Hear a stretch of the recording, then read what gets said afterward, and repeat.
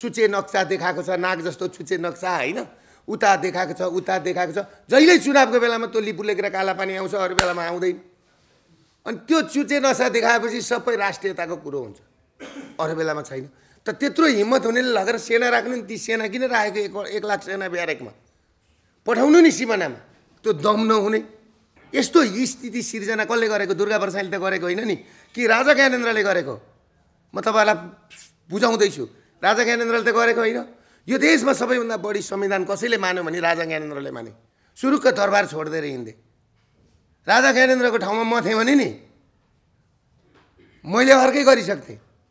उहाँ त सिधा हुनुहुँदो रहेछ। तर त्यो सिधापनको फाइदा उठाए यिनीहरूले। अब त्यही माधव कुमार नेपाललाई अस्ति मरिन्जेल खेद्नुभयो हजुरबुवाले अब अहिले उसैलाई राष्ट्रपति अरे हेर्नुहोस्। त्यही प्रचण्डलाई मरिन्जेल खेदेको त्यो प्रचण्डलाई हामीलाई ऊ गर्न लाउनु भयो। अहिले ऊ गर्न त्यस्तो छ। अचम्मको कुरो। म त गजब लाग्यो क्या यो राजनीतिक। यस्तो पनि राजनीतिक हुन्छ। यस्तो राजनीति गर्नुभन्दा त बरु पहेँलो गेरु वस्त्र लगाएर होइन सत्तरी बहत्तर वर्षको हुनुभयो। मेरो हजुरबुवा पार्टी अध्यक्ष केपी शर्मा ओलीज्यूलाई भने हजुरबुवा फलानु फलानु मान्छेको पैसा रहेछ यहाँ। देश त टाटपल्टाएको रहेछ। आज एक करोडभन्दा बढी युवाहरू आज विदेशमा छन्। तपाईँले रेल ल्याउनु रहेछ रेल चढ्ने मान्छे विदेशमा छन्। तपाईँ टावर बनाउनु हुँदैछ हजुरबुवा टावरमा चढ्ने मान्छे विदेशमा छन्। तपाईँ टावरमा धान रोप्ने होइन भन्नुहुन्छ त्यो त ठिकै हो हजुरबुवा टावरमा धान रोप्दैन नि टावरमा त मान्छे चढ्छन् हो कि मान्छे टरेर चढेर हेर्ने हो। अब हजुरबुवा तपाईँले टावर बनाएको टावरबाट के तपाईँले सिक्किम हेर्नलाई बनाएको भनेर सोधेँ क्या मैले एक दिन। होइन? आज हामीलाई टावरको भन्दा पनि रेलको भन्दा पनि यहाँ कसरी युवा रोक्ने भन्ने कुरो सोच्ने नेताको आवश्यक छ। भनेर मैले भने पाँच हजार युवाहरू आज खाडी मुलुकमा र संसारका जेलमा छन् र हामीले खोजेको गणतन्त्र यस्तो गणतन्त्र थिएन हजुरबुवा भनेर भने। र हिजो राजाहरूले यो देश छोडेर जाँदै गर्दाखेरि तपाईँको जम्मा तेइस अर्ब रुपियाँ ऋण थियो। तर तेइस अर्ब रुपियाँ ऋण हुँदाखेरि राजाहरूले छोडेर जाँदाखेरि के के थियो त भन्दाखेरि यहाँ पचपन्नवटा फ्याक्ट्री थिए। बाँसबारी छाला जुत्ता कारखाना भिरकुटी कागज होइन? हरिसिद्धि टायल उद्योग गोरखकाली टायर। गोरखकाली टायर भनेको के हो भन्दाखेरि संसार दक्षिण एसियामा गोरखकाली टायर भनेपछि नाम थियो तपाईँहरूलाई थाहा छ कि छैन? म मलाई थाहा छ। होइन? गोरखकाली टायर थिए। झापामा सात हजार बिघा चिया बगान थियो। होइन? अस्ति भने धेरैजना नेताहरूले तिमीले दुई सय चालिस वर्षमा के देऊ भनेर भने। राजालाई। राजाले नेपालै दिनुभयो। पचपन्नवटा फ्याक्ट्री दिएको थियो तेइस अर्ब रुपियाँ ऋण बोकाएको थियो। तर आज त ती उद्योग धन्दा कल कारखाना पनि सबै बेचेर खाए गणतन्त्र आएपछि हेर्नुहोस्। युवा जति सबै भाडी बोकेर विदेश जानुपर्ने। युवा जति सबै भारी बोकेर विदेश। टेन प्लस टूदेखि माथि पढाइ हुँदैन। मेडिकल साइन्स मेडिकल शिक्षा पढ्न पाइँदैन। नर्सिङ पढ्न पाइँदैन आज। प्लस टूभन्दा माथि त पढाइ नै हुँदैन। अब हुँदाहुँदै यिनीहरूले त के गरे भने धर्म पनि बेचे। सालदेखि आज मोटामोटी असी साल राखौँ न। छयालिस सालदेखि असी साल भनेको झन्डै तेत्तिस चौतिस वर्ष भयो होला मेरो विचारमा। तेत्तिस चौतिस वर्ष हामीले धेरै किसिमका आन्दोलनहरू आन्दोलनहरू जनयुद्धहरू जनआन्दोलनहरू सबै हेरेर आयौँ हामीले र दुःख सुख पनि सबै हामीले भोग्यौँ। सबै कुरा भोग्यौँ। अब हामीले भोग्ने ठाउँ केही भोग्ने केही पनि छैन। सबै कुरा भोगिसक्यौँ। र तपाईँहरूलाई म एउटा कुरा के भन्छु भने म एउटा उद्योग धन्दा कल कारखाना खोलेर बसेको मान्छे। मेरो पाँच हजारजना मान्छे रोजगार छन्। मैले पाँच हजार मान्छेलाई रोजगार दिएर बसेको मान्छे। म एउटा उद्योगी हुँ। म के चाहन्थेँ भने म यो देशमा राम्रो उद्योग खोल्छु। उद्योग धन्दा कल कारखाना गर्छु। मान्छेहरूलाई रोजगारी सिर्जना गर्छु। र सुख सुविधाको जिन्दगी जिउँछु। भन्ने म सोच्थेँ क्या जहिले। राजनीति गर्ने काम मेरो होइन। राजनीति गर्ने काम राजनीतिज्ञहरूको हो भनेर मैले सोचेर मैले त्यो बाटो अप्नाएको। तर म आज त्यो मेरो बाटो छोडेर यो बाटोमा आउनु पऱ्यो क्या। सबैभन्दा दुःखको कुरो। किन आउनु पऱ्यो म यहाँ भन्दाखेरि नि म आउनु भनेको एउटा युवाहरू विद युवा युवाहरूले नेपाली जनताहरूले विद्रोह गरेको हो क्या यो। काहीँ पनि जाने छैन कोसँग जाने अब हामी? राजालाई फ्याँक्ने फ्याँकिसक्यौँ। हो? फ्याँकेर हामीले चुनेको मान्छे ल्यायौँ हामीले चुनेको मान्छेले त झन् यति साह्रो गद्दारी काम गर्यो अब यो साध्य छैन। किनभने नेपालमा आज तपाईँहरूले सायद मलाई हिजो अस्ति पहिला के भनेर भन्नुहुन्थ्यो तर आज मलाई मन पराउनुको कारण के छ भन्दाखेरि मैले सुरुदेखि नै काम गरेको थिएँ क्या। तर मान्छेहरूले मिडियाले मलाई एक किसिमको कस्तो बनायो भने मानौ रावण जस्तो बनायो। हुन त फेरि रावणको पूजा लङ्कामा हुन्छ है फेरि। मेरो ठाउँको मान्छेले मलाई चिन्थे तर तपाईँहरूले चिन्नु हुँदैन थियो। माफिया भने डन भनेको छ हुस्की भनेको छ बेइज्जत गरेको छ। सारा मिडियाहरू पनि खनिए मसँग। कुरो बुझेको छैन। त्यसले गर्दाखेरि मैले तपाईँको यहाँदेखि नेपालदेखि नेपालका नेतादेखि भारतका नेतादेखि साउदी कतार दुबईका राज परिवारसम्म मेरो राम्रो रिलेसन हुँदाखेरि मैले सबै कुरा हेरेँ। र हेर्दै जाँदाखेरि मैले त्यहाँ विदेशमा हेर्नुहोस् आज पाँच हजार मान्छे हाम्रो विदेशमा इन्टायर पाँच हजार मान्छे चाहिँ जेलमा छन् आज। तपाईँहरूले बुझ्नु होला तपाईँहरूका छोरा छोरी यहीँबाट कतिजनाका छन् त्यो मलाई थाहा छैन। मैले एक्काइसवटा सब मैले तपाईँको चाहिँ नि ल्याएँ तपाईँको चाहिँ नि दुबईबाट युएबाट यहीँ धनगढीको आज त्यो बहिनी त मलाई भेट्न आएनन् धनगढीको बहिनी पनि डिप कोमामा गएको बहिनी मैले ल्याएर यहाँ धनगढी पठाइदिएको थियो। एकजना बहिनी हुन् को बहिनी हुन् म एकजना के समथिङ मगर हुन् सुर्खेतको पहिलो सब मैले सुर्खेतको ल्याइदिएको थिएँ र दुबईबाट मैले एकचालिसजना जेलमा परेका मान्छेहरूलाई आम माफी गराएर ल्याएँ। र दुई सयजना अलपत्र परेका मान्छेहरू ल्याएँ। जस्तो आज मैले अमरबहादुर बमको बुवालाई त्यहाँ भेटाएको थिएँ दार्चुलाको अमरबहादुर बम। उहाँको छोरालाई ल्याउनलाई फाँसीको सजाय थियो। मैले फाँसीको सजाय रोकेर उनलाई जुन त्यतिखेर मार्थ्यो मैले उहाँ त्यतिखेर राजकुमारलाई के भने मेरो देशको जनता हो तपाईँ उहाँले मलाई राजकुमारले के भन्नुहुन्थ्यो भने यो चाहिँ ह्युमिनिटीको कुरा हुन्छ मानवताको कुरा हुन्छ रगतको कुरा हुँदैन धर्मको कुरा हुँदैन मानवताको कुरा हुन्छ। भनेर भन्नुहुन्थ्यो। मैले मानवताको कुरा हो। होइन म मेरो नेपालको मेरो देशको आकाशमा खुल्ला आकाशमा लगेर छोड्न चाहन्छु। उसको पनि परिवार छ हाइनस् भनेर मैले कुरा गरेपछि उहाँले तपाईँको उहाँले तपाईँको चाहिँ उहाँलाई बाँच्ने मौका दिनुभयो। त्यस पछाडि उहाँलाई अहिले छब्बिस लाख रुपियाँ पैसा ब्लड मनी तिरेर। मैले आफूले फेरि मैले यो जति पनि काम गरेँ कसैसँग पाँच पैसा मागिनँ। र अमरबहादुर बमको नाममा पैसा उठाएर मान्छेले मोटरसाइकल चढेछन् घर बनाएछन् घरका छाना फेरेछन्। मैले जब यो कुरो सुनेपछि कसैले पनि अमरबहादुर बमको लागि एक रुपियाँ पैसा नउठाउनु है भनेर भने मैले म आफै हाल्छु। मेरो बर्गतले भ्याएछन् मैले गर्नुपर्छ। फेरि मैले भन्न खोजेको के भने मैले दान दिन खोजेको होइन। मेरो कर्तव्य हो। मैले दुबईबाट त्यत्रो सब लिएर आएँ नि। मलाई मेरो बुवाले के भन्नुहुन्थ्यो भने कान्छा भन्नुहुन्थ्यो मलाई। कान्छा सबैभन्दा ठुलो आशीर्वाद भनेको पितृको लाग्छ है भनेर भन्नुहुन्थ्यो। पितृको भन्दा ठुलो आशीर्वाद कसैको लाग्दैन भनेर भन्नुहुन्थ्यो। त्यसले गर्दाखेरि ती एक्काइसवटा सब मैले ल्याएँ पितृ हुन्। किनभने तिनीहरूको दाह संस्कार भएको थिएन तिनीहरूले तिनीहरूको आत्माले मुक्ति पाएको थिएन तिनीहरू पितृहरू वायुमा घुमिराखेका थिए। कमसेकम उनीहरूको काँच क्रिया भयो। हामीले त धर्मको काम गरेको हो नि। हामीले कर्तव्य निभाएको हामीले कसैलाई सहयोग गरेको नि हाम्रो कर्तव्य हो हामी पृथ्वीमा जन्मेपछि हामीले गर्नुपर्छ। भनेर मैले त्यो काम सुरु गर्दै गएँ। र मैले दुबईमै पनि मैले देखेँ नेपालका नेताहरूले नेपालका व्यापारीहरूले पैसा लगेर यो फलानुको भिल्ला यो फलानुको भिल्ला यो फलानुको फ्याक्ट्री दुबईमा। हेर्नुहोस्। दुबईमा। जब मैले त्यो देखिसकेपछि मैले आएर म नेकपा एमालेको केन्द्रीय सदस्य थिएँ। मैले आएर मेरो हजुरबुवा पार्टी अध्यक्ष केपी शर्मा ओलीज्यूलाई भने हजुरबुवा फलानु फलानु मान्छेको पैसा रहेछ यहाँ। देश त टाटपल्टाएको रहेछ। आज एक करोडभन्दा बढी युवाहरू आज विदेशमा छन्। तपाईँले रेल ल्याउनु रहेछ रेल चढ्ने मान्छे विदेशमा छन्। तपाईँ टावर बनाउनु हुँदैछ हजुरबुवा टावरमा चढ्ने मान्छे विदेशमा छन्। तपाईँ टावरमा धान रोप्ने होइन भन्नुहुन्छ त्यो त ठिकै हो हजुरबुवा टावरमा धान रोप्दैनन् टावरमा त मान्छे चढ्छन्।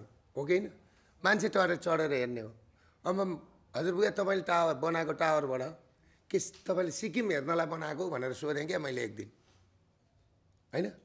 आज हामीलाई टावरको भन्दा पनि रेलको भन्दा पनि यहाँ कसरी युवा रोक्ने भन्ने कुरो सोच्ने नेताको आवश्यक छ। भनेर मैले भने। पाँच हजार युवाहरू आज खाडी मुलुकमा र संसारका जेलमा छन्। र हामीले खोजेको गणतन्त्र यस्तो गणतन्त्र थिएन हजुरबुवा भनेर भने। र हिजो राजाहरूले यो देश छोडेर जाँदै गर्दाखेरि तपाईँको जम्मा तेइस अर्ब रुपियाँ ऋण थियो। तर तेइस अर्ब रुपियाँ ऋण हुँदाखेरि राजाहरूले छोडेर जाँदाखेरि के के थियो त भन्दाखेरि यहाँ पचपन्नवटा फ्याक्ट्री थिए। बाँसबाडी छाला जुत्ता कारखाना भिरकुटी कागज होइन? हरिसिद्धि टायल उद्योग गोरखकाली टायर। गोरखकाली टायर भनेको के हो भन्दाखेरि संसार दक्षिण एसियामा गोरखकाली टायर भनेपछि नाम थियो तपाईँहरूलाई थाहा छ कि छैन? म मलाई थाहा छ। होइन? गोरखकाली टायर थिए। झापामा सात हजार बिघा चिया बगान थियो।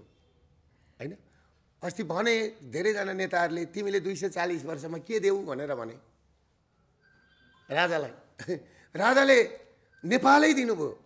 पचपन्नवटा फ्याक्ट्री दिएको थियो तेइस अर्ब रुपियाँ ऋण बोकाएको थियो। तर आज त ती उद्योग धन्दा कल कारखाना पनि सबै बेचेर खाए गणतन्त्र आएपछि। हेर्नुहोस्। युवा जति सबै भाडी बोकेर विदेश जानुपर्ने। युवा जति सबै भारी बोकेर विदेश। टेन प्लस टूदेखि माथि पढाइ हुँदैन। मेडिकल साइन्स मेडिकल शिक्षा पढ्न पाइँदैन। नर्सिङ पढ्न पाइँदैन आज। प्लस टूभन्दा माथि त पढाइ नै हुँदैन। अब हुँदा हुँदै यिनीहरूले त के गरे भने धर्म पनि बेचे। संस्कृति पनि बेचे। सबै कुरा बेचिसके। मैले यो कुरा पटक पटक मैले मेरो पार्टी अध्यक्ष हुनुहुन्थ्यो केपी शर्मा ओलीज्यू। उहाँलाई भने मैले। हेर्नुहोस् है कुरा भएको कुरा। त्यस पछाडि त्यस पछाडि चुनावको टाइम आयो। चुनावको टाइम आएपछि उहाँले के गर्नुभयो भने मलाई पनि टिकट दिने भन्नुभयो। मलाई त्यति इन्ट्रेस्ट थिएन मलाई किनभने जहिल्यै पनि मलाई एउटै कुराले सताइरहेको थियो क्या। मेरै घरदेखि पच्चिस किलोमिटर तल गाउँमा लघु वित्त र सहकारीको कारणले पैसा तिर्न नसकेर एउटै रुखको हाँगोमा सोह्र सत्र वर्षका केटीहरू बहिनी चेलीहरू एउटै रुखको हाँगोमा झुन्निएर मरे। आत्महत्या गरे झुन्निएर मलाई त्यो कुराले जहिल्यै पीडा बनाइरहेको थियो क्या पिरलिरहेको थियो है? अनि मैले कुरो निकालेँ पहिलोचोटि। पहिलोचोटि मैले कुरा लेखेँ लघुवित्त र ब्याङ्कको कारणले गर्दाखेरि यसरी चेलीहरू झुन्निएर मर्न थाले। यो के हो भनेर मैले अलिअलि सुरु गर्दै गर्दै गर्दै गर्दै गर्दै गर्दै गर्दै गइसकेपछि अब मलाई पनि लोन छ। अब मसँग ब्याङ्क भड्किन थाल्यो।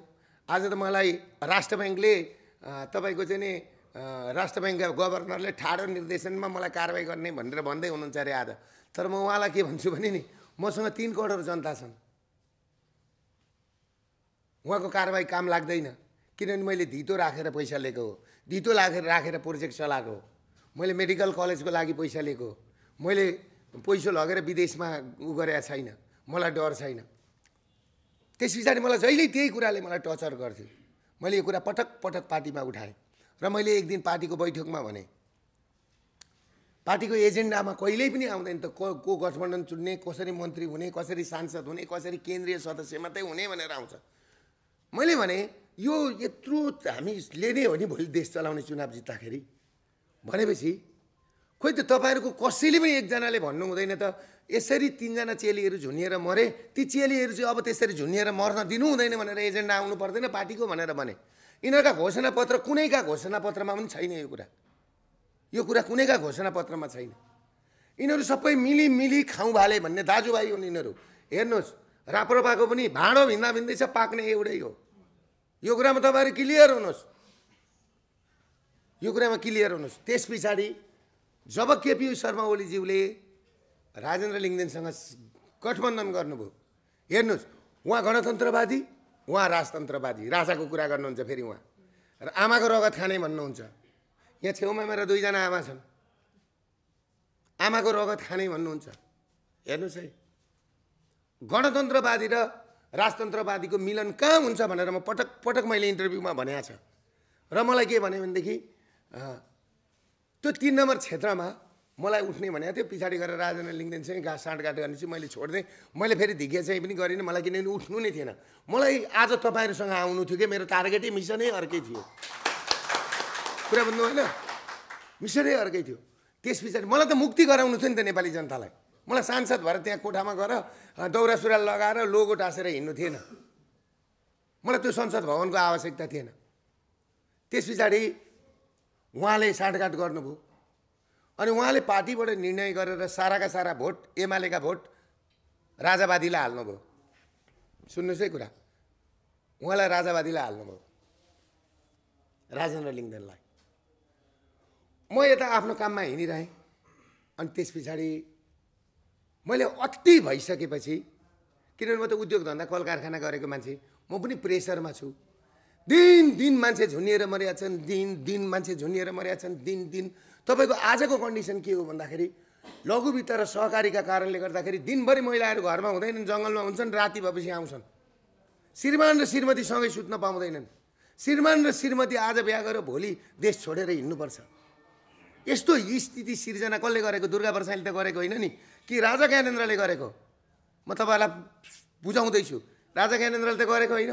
यो देशमा सबैभन्दा बढी संविधान कसैले मान्यो भने राजा ज्ञानेन्द्रले माने। सुरुक्क दरबार छोडिदिएर हिँड्थे राजा ज्ञानेन्द्रको ठाउँमा म थिएँ भने नि मैले अर्कै गरिसक्थेँ। उहाँ त सिधा हुनुहुँदो रहेछ। तर त्यो सिधापनको फाइदा उठाए यिनीहरूले त्यस पछाडि अब कुरा हुँदै थियो मैले अनि त्यहाँबाट राष्ट्र राष्ट्रियता धर्म संस्कृति र नागरिक बचाउ अघि अभियान। राष्ट्र राष्ट्र त हेर्नुहोस् आज विदेश जाने एक करोड युवाहरूको लागि राष्ट्र बन्यो। भनेन भन त। यहाँ प्रधानमन्त्री जो बने पनि त्यो एक करोड युवालाई के फरक पर्यो दिदी? पर केही त्यो झोला बोकेर हिँड्नेलाई के फरक पर्यो? जोसुकै प्रधानमन्त्री बनोस् जोसुकै गृहमन्त्री बनोस् नि। देश देश जस्तो रहेन डेरा जस्तो बनाए त्यस पछाडि तपाईँको राष्ट्रियताको कुरामा यिनीहरूले के गरे भन्दाखेरि उता पश्चिम पनि बेचेको छ उता पनि बेचेको छ जहिले चुचे नक्सा देखाएको छ नाग जस्तो चुचे नक्सा होइन? उता देखाएको छ उता देखाएको छ। जहिले चुनावको बेलामा त्यो लिपु लेखेर काला पानी आउँछ अरू बेलामा आउँदैन। अनि त्यो चुचे नक्सा देखाएपछि सबै राष्ट्रियताको कुरो हुन्छ। अरू बेलामा छैन। त त्यत्रो हिम्मत हुनेले लगेर सेना राख्नु नि ती सेना किन राखेको एक एक लाख सेना ब्यारेकमा पठाउनु नि सिमानामा। त्यो दम नहुने। अनि त्यस पछाडि राष्ट्र राष्ट्रियता। राष्ट्र के हो भन्दाखेरि कुनै पनि युवाको लागि भएन। आज तपाईँहरूको लागि राष्ट्र जस्तो छ। ल भन्नुहोस् त तपाईँहरूलाई फिल छ आज राष्ट्र जस्तो छ? यो मेरो राष्ट्र यो मेरो प्रधानमन्त्री म आज ढुक्क छु भनेर तपाईँहरू कसैलाई छ? सरकार भएको देश यस्तो हुन्छ? गार्जेन भएको देश यस्तो हुन्छ? आज म सुदूरपूर्वको मान्छे म यहाँ आउँदाखेरि तपाईँहरूलाई एउटा गार्जेन आए जस्तो भयो। हो कि भन्नुहोस् त? त्यो फिलिङ भयो नि। त्यो फिलिङ दिन सकेँ नि मैले। किनभने तपाईँहरूलाई आज के छ भने एउटा दुर्गा प्रसाई पनि जन्मेको रहेछ है सुदूरपूर्वमा भन्ने कुरो। म पश्चिममा आएर भन्दैछु आज। म पहिलोचोटि आएको यो धरतीमा। राष्ट्र पनि भएन राष्ट्रियता त बेचिसके। कहिले के बेचेको छ कहिले के बेचेको छ कहिले के बेचेको छ कहिले के बेचेको छ। धर्म संस्कृतिको कुरामा जाउँ अब।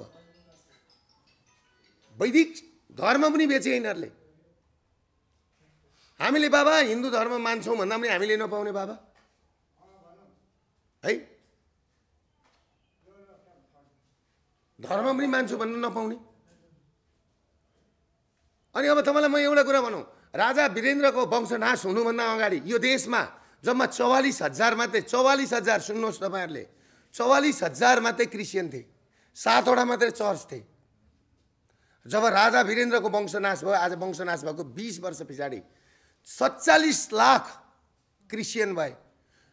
सात सय त्रिपन्नवटा पालिका र नगरपालिका छ त्यसमा सत्र हजार दुई सय नब्बेवटा चाहिँ तपाईँको चर्च बनेको छ। हामी कहाँ छौँ? हामी कहाँ छौँ ल भन्नुहोस् त। अनि हिन्दू राष्ट्रको कुरा गर्ने हामीले? अनि राजेन्द्र दाईले हिन्दू राष्ट्रको कुरा गर्ने? अनि राजाको कुरा गर्ने? राजाको कुरा गर्ने सङ्घीयता खारेज गर्ने भन्ने? अनि सङ्घीयता खारेज गर्ने भन्ने प्रदेश खारेज गर्ने भने प्रदेशमा मन्त्री पहिला चाहियो उहाँलाई। सभामुख बनाइसके उपसभामुख बनाए।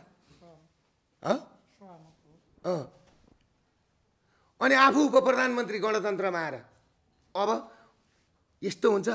यो भइसकेपछि राष्ट्र राष्ट्रियता धर्म त बेचेर खाइसके। एकछिन न को बोल्नुहुन्छ हौ? धर्म बेचेर खाइसके। अब रह्यो नागरिक बचाउ अभियान। नागरिक त हेर्नुहोस् दिने पछि आँपामा फल्न थाले रुखमा फल्न थाले मान्छे डोरी लगाएर। हो कि होइन? दिनमा आज पाँचदेखि सातजना मान्छे मरेका छन्। आज बिहा गरेर ल्याउँछ। भोलि घर छोडेर झोला बोकेर हिँड्नु परेको छ रुँदै रुँदै एयरपोर्टको बाटो गएको छ बाक्सामा प्याक भएर आउँछ। यही होइन यथार्थ चित्र यही हो नि त। सही चित्र यो नि। यो विषयमा नि नेताले जहिल्यै पनि तपाईँको यहाँबाट बोले क्या मैले यहाँबाट बोल्दैछु। हृदयबाट बोल्दैछु। सत्य कुरा बोल्दैछु। म दुर्गा मातालाई साँची राखेर। म भगवान् पाथिबाट दुर्गा माताको भक्त हुँ। म तपाईँहरूलाई ढाँट्न आएको होइन। म कसैको रगत पनि खान्छु भन्दिनँ म ढाँट्दिनँ पनि। त्यस पछाडि मैले अति भयो भनेपछि त्यतिखेरै मलाई म यो अभियान सुरु गर्छु भनेर म केपी ओलीज्यूकोमा गएँ हजुरबुगा मलाई त चित्त बुझेन। तपाईँहरू आज चौतिस पैँतिस वर्ष भयो। जहिल्यै अब अब अब त अस्ति फेरि नयाँ पार्टीहरू पनि आए। राजन दाई पनि जितेर आएपछि के के न हुन्छ भनेको यहाँ यस्तो लफडा सुरु भयो। अहिले अब राष्ट्रपतिको कुरो छ। अब त्यही माधव कुमार नेपाललाई अस्ति मरिन्जेल खेद्नुभयो हजुरबुगाले अब अहिले उसैलाई राष्ट्रपति अरे हेर्नुहोस्। त्यही प्रचण्डलाई मरिन्जेल खेदेको त्यो प्रचण्डलाई हामीलाई उ गर्न लाउनु भयो अहिले उ गर्नु त्यस्तो छ।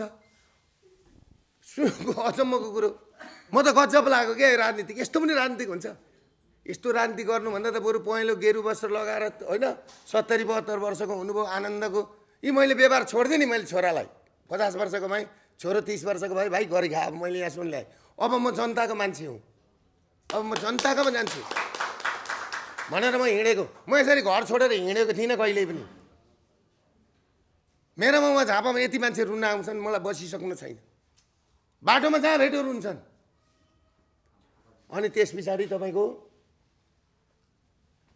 मैले अभियानको कुरो सुरु गरिसकेपछि मैले नेपालबाट सबैजनालाई बोलाउने निर्णय गरेँ मेची पुलमा। मैले दुई हजार बाहन्न साल ए दुई हजार उनासी साल फागुन एक गते नै किन रोजेँ भनेदेखि दुई हजार बाहन्न साल फागुन एक गते। जनयुद्ध एउटा जनयुद्ध कथित जनयुद्ध भयो जनयुद्धको नाममा आमा बुवा र गुरु भनेको चिज के हो? तिनवटा चिज। हाम्रो सम वैदिक सनातन हिन्दू कल्चरमा।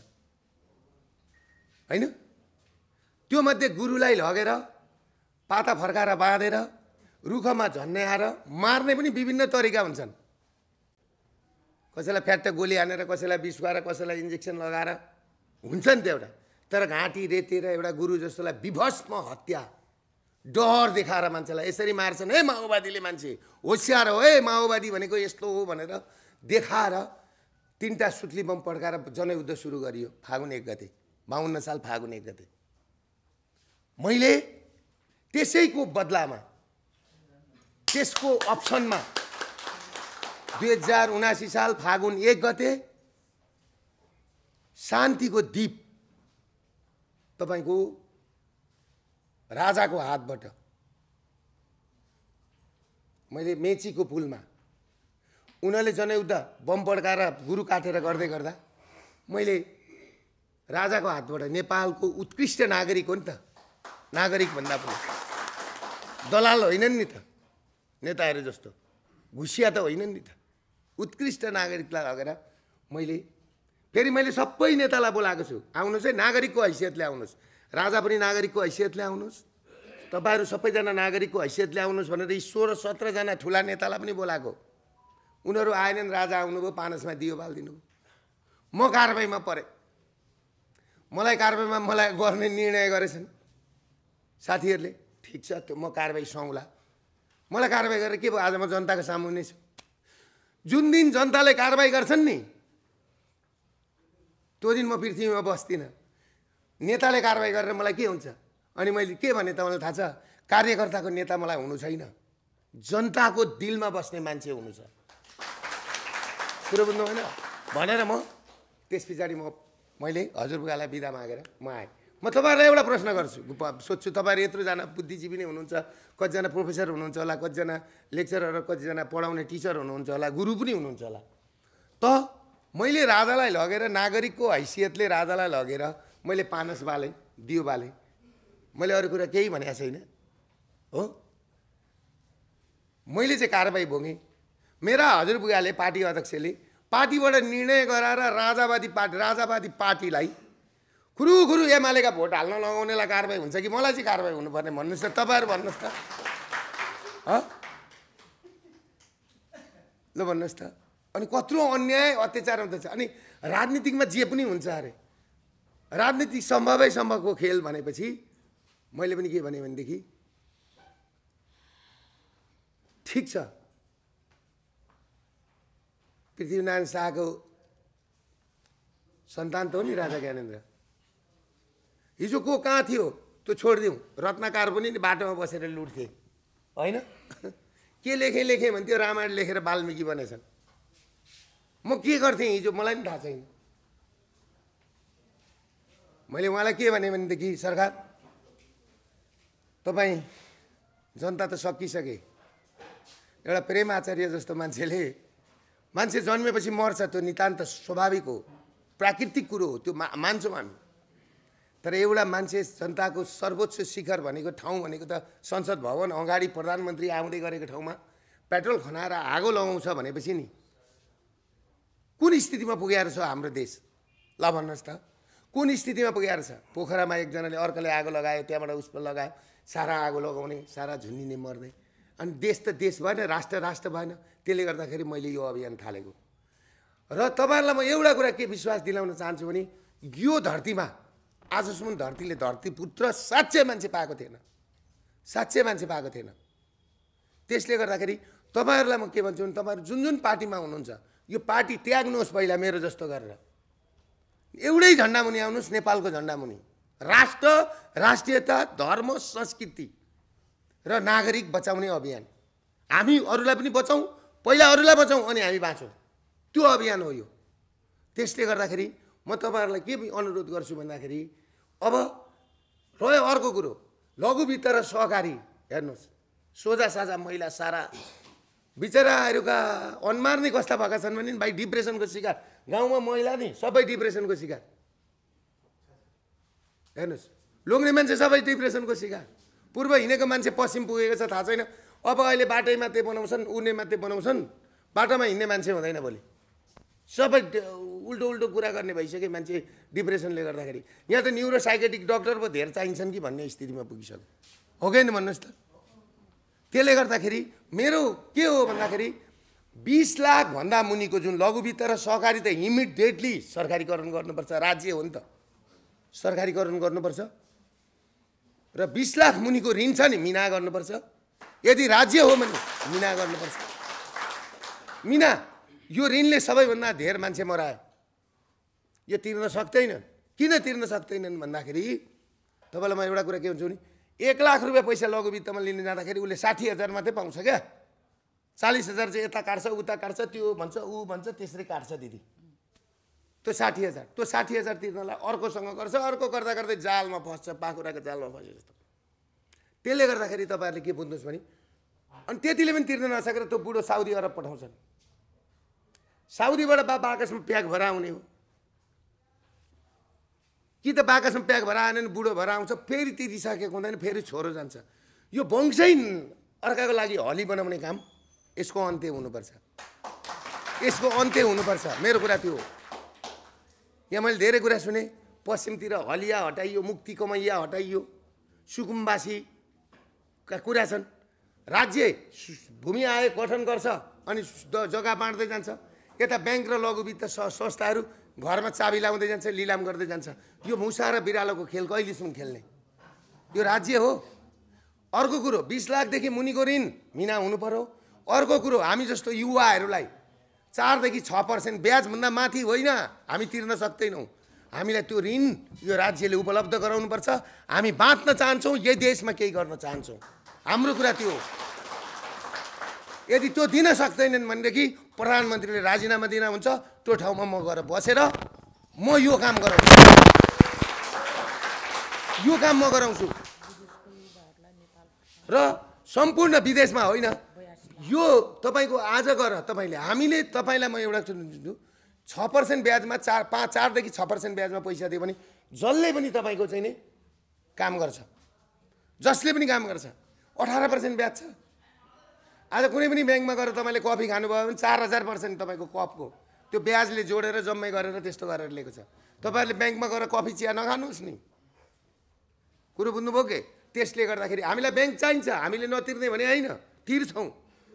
तर म तपाईँहरूसँग के अनुरोध गर्छु भने अहिले तपाईँहरूले ब्याज तिर्ने काम छैन। यो एक किसिमको हाम्रो अब आन्दोलन हो। हामीले अन्तिम लडाइँ लड्नु छ। तपाईँहरू साथ दिने कि नदिने हो त्यो चाहिँ भन्न आएको म। होइन? अन्तिम लडाइँ लड्नु छ। हामीले मुक्ति दिलाउनु छ। हामी मुक्ति दिलाउन चाहन्छौँ। र त्यसले गर्दाखेरि म तपाईँहरूलाई एउटा कुरा के भन्छु भने कतिजनालाई सुकुम्बासी बनाउने भन्नु त। ए मसँग राज्य छ भन्ने कुरो होस् न हो। मलाई अहिले आउँदाखेरि यहाँ मेरो दिदी छिन् जस्तो लाग्यो नि त यहाँ। यी तपाईँहरू हुनुहुन्छ नि त। फिलिङ भयो नि त मेरो दाजुभाइ छन् भनेर। म दुबईमा जान्छु कि? ओहो हाम्रो दुर्गा वर्ष आयो भन्ने एउटा मान्छेलाई फिलिङ हुन्छ क्या। ए अब केही त गरिदिन्छ कि भनेर। त्यो हुनु पऱ्यो नि। यिनीहरू त गयो आयो मतलबै छैन। त्यसले गर्दाखेरि तपाईँहरूसँग म एउटा अनुरोध के गर्छु भने अब आज मैले त्यहाँ पर पनि कार्यक्रममा त्यही भने यहाँ पनि तपाईँहरूसँग त्यही भने। हिजो जुन जुन पार्टीमा हुनुहुन्छ त्योसँग मतलब भएन। अब कुन पार्टीमा पार्टी अब अहिले त हामी कुन अभियानमा जाउँ यो अभियानमा जोड्यौँ। यसैबाट भोलि हामी नि के गर्ने हो सल्लाह गरौँ दाजुभाइ बसेर। सल्लाह गरौँ। आजको मितिदेखि कसैले बिस खान्छ भने बिस खान रोकौँ झुनिन खोज्छ भने त्यसलाई रोकौँ अब दुर्गा वर्ष आइसकेको छ है नेपाल बनाउनलाई भन्ने हिसाबले। सोचौँ। मलाई तपाईँहरूलाई साथ दिनुहोस्। र विदेशमा भएका म सम्पूर्ण साथीभाइहरूलाई पनि के भन्छु भने अब दुर्गा वर्षलाई साथ दिनुहोस्। उनीहरूले पनि के भनुन् भनेदेखि त्यहाँ भेडा चढाउँदैछन् भनेदेखि नि त्यो साउलाई बोडाएर भेडा जिम्मा लगाएर सलाम गरेर नि अब हाम्रो देशमा दुर्गा वर्ष जस्ता मान्छे आए। अब हाम्रो देश विकास हुन्छ। हामी उहाँलाई सघाउन जान्छौँ भन्ने आँट राख्ने त टाइपको काम गर्नु पर्यो तपाईँहरूले त्यो वातावरण बनाइदिनु पर्यो मलाई। मेरो त्यति हो कुरा। मलाई सम्पत्ति चाहिँदैन। मेरो आफ्नै छ सम्पत्ति। मलाई खान पुगेको छ लाउन पुगेको छ सबै कुरा पुगेको छ। म एउटा क्यान्सर सर्भाइभर मान्छे हो। म कति बाँच्छु। तर तपाईँहरूलाई मुक्ति गराउन चाहन्छु। कुरा बुझ्नु भएन? त्यो भएर म तपाईँहरूसँग यो अनुरोध गर्न आएको। यहाँ दिदी हुनुहुन्छ। अब यता मेरो आमा जस्तो दिदी हुनुहुन्छ अर्की दिदी। दुईजना चेलीका बिचमा बसेर भनेको छु। मैले त पहिला पनि त भनेको थिएँ नि त दिदी होइन? त्यसले गर्दाखेरि तपाईँहरूको अब केही छ भने भन्नुहोस्।